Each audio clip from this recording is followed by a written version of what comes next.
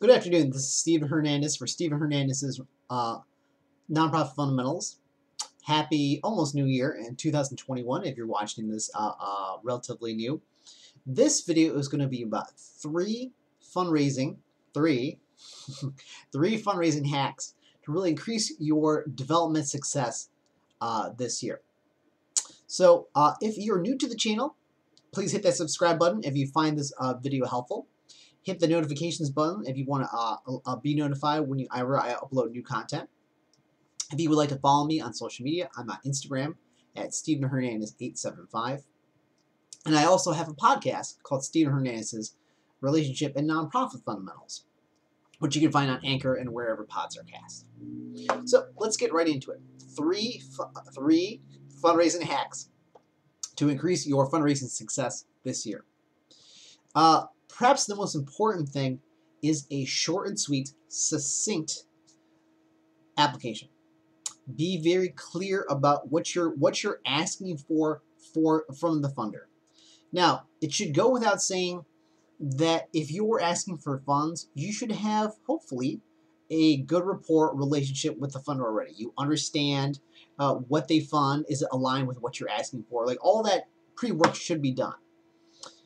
Always remember, that the person who's reading your application is almost certainly not the person who's going to be the decision maker on your application. There's probably an initial staff read through, then they speak with their coworker, then they or their team needs to take it to their director, and it may need to go to a board of directors or a high level uh, high level uh, corporate executive if it's a corporate uh, corporate funder. What does that mean? Is that at each one of these iterations, there needs to be a shorter conversation of why we should uh, fund uh, your organization. So, while, and I understand this, having been a fundraiser before, many nonprofit executives and fundraisers want to provide a towering epic of beautiful prose and whatnot. That is great and credit to your writing skills. But believe me when I say, the more convoluted your application is, the harder it is to make the sales pitch, if you will, internally what my boss wants to hear, what my coworker wants to hear is organization ABC wants to do X and they need XYZ amount of money to do it. I think this is a good thing. I think we can do this. Why? Oh, well, they do this, this, and this. We do this, this, and this. Awesome. We've been looking for a partner to do that. That's great. That's the conversation ideally your application should generate.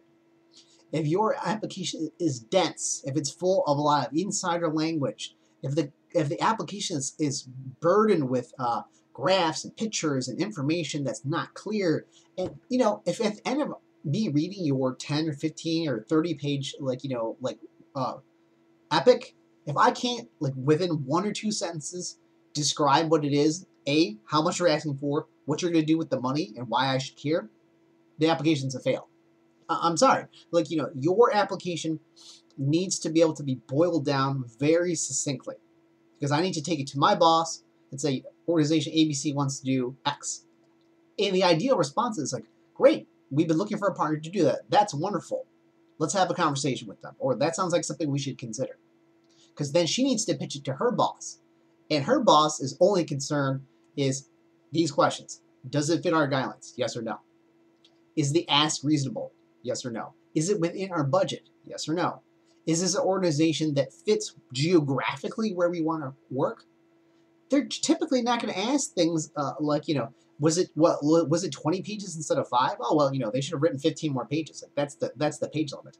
No, we don't want that. Okay, short and sweet, very clear line to what we're asking for. Number two, and this is one of those unfair kinds of things, have money already. By that I mean if your if your project is already funded, so let's say it's a $50,000 project, okay?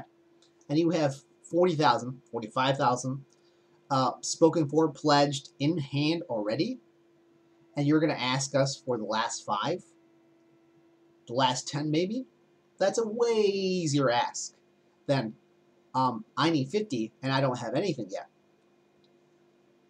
$5,000 please. $10,000 please. $40,000, $50,000 please. One of the great unfairness of nonprofit fundraising is the easier the easiest way to get money is to already have it. And I know that's so, so unfair. So this is what I always encourage nonprofits to do. even if it's just a little bit. If your board members, who should be your primary fundraisers, if they're taking on a big project, if they want you to raise $50,000, the first five, the first 10 should come from them. Ideally, they should be able to cut a check so collectively they can, you know, put down the first five or 10 themselves. If they can't do that, as board members, they should be able to pledge or uh, work their connections to get that five or ten thousand dollars. It should come from your board. So then your then your ask is different. Then as you step forward as uh, as a uh, fundraiser, you can say our board has already pledged the first five or ten thousand dollars, and we have a good chance of getting another five thousand dollars matched due to our board members' connections at Corporation XYZ. So then we have $5,000 in hand, we have $5,000 pledged. We're coming to you for the next $10,000. Do you understand? Do you, do you see the difference of that impact? Many fun, fun, uh, uh, many foundations or uh, or organizations will ask you, has your board members supported? Have your board members pledged or supported this initiative? If so, how much money have they raised? That is like a fundamental question that many of them ask. And if your answer is like, well, our board members don't raise money, or they've given zero, their answer to you almost certainly will be, well, we're not going to support this.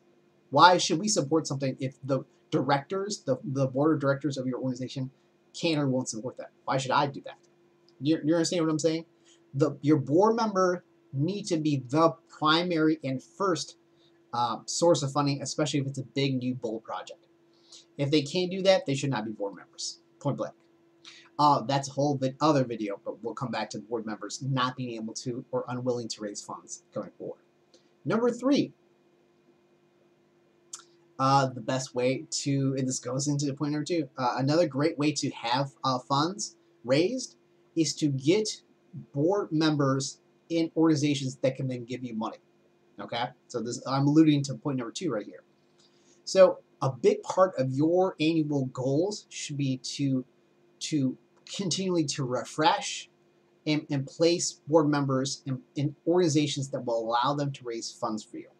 Right now, where I work on my day job, that's something that we're looking at. We're looking for high-level uh, board placements for uh, the mid-level executives or high-level executives uh, that work for the corporation I work for. They're looking for these opportunities.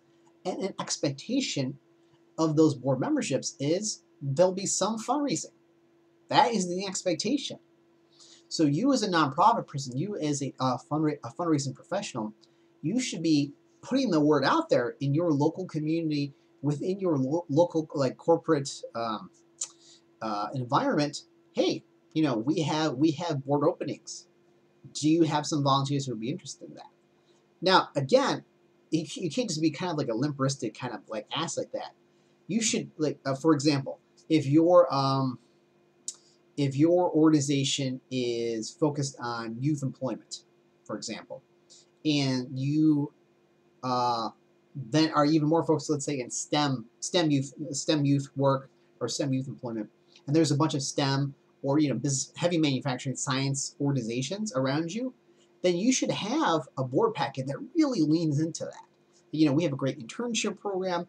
We teach kids from, uh, you know, low to moderate income communities uh, how to embrace the sciences, not just as a, like a hobby, but as something where they want to build their careers, etc., etc. Put together a, a good board packet. Uh, it doesn't have to be overly produced, but it should be very clear about roles and responsibilities.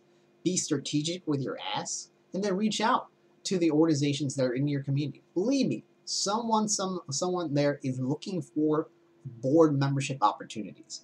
And to my earlier point, the expectation must be written down as a condition of board membership. Our expectation is that board members either personally raise $5,000 or they are able to bring in through their own, you know, initiatives or their, their community connections $5,000. You need to set some kind of fundraising amount and expectation amongst your board members or again, you're kind of just wasting your time.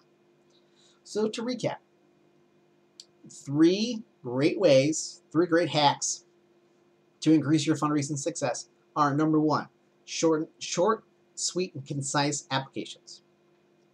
Two, have money already. which is a great way to do that, is point number three.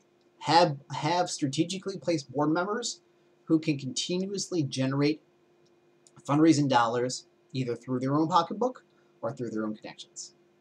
I hope this is helpful. Please let me know what other fundraising uh, things have been helpful, especially during like this time of COVID. If you like this video, please give it a like or a thumbs up. Subscribe to the channel if you're new here. Thank you so much for watching. Again, this is Steven Hernandez with Steven Hernandez's Nonprofit Fundamentals. You can check out some of my other videos here. You can follow me on uh, Instagram at Steven Hernandez875 or find me on uh, my podcast, Steven Hernandez is Nonprofit Fundamentals and Relationship Fundamentals, wherever podcasts are, uh, are found. Thank you so much and take care.